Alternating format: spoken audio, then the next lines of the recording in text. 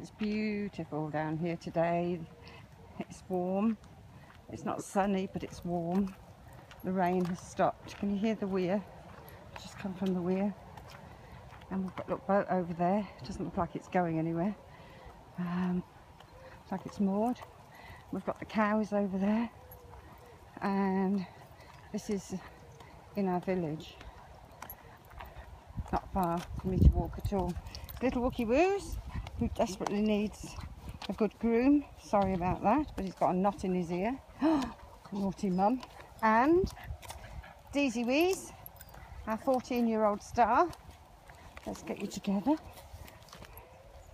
He's still wagging his tail. And he jumped a fence the other day, little honker, because he thought he'd got, he saw some bread that my neighbour had put out for the birds. And he jumped my neighbour's little fence and gate, and over he went, 14. Didn't think he could do that, but he could. Yeah, the incentive was there, wasn't it, mate? Yeah. Right, come on. Do you mind, sis? I was having a pee. Oh, it's no, there's no privacy, is there, when this camera's out?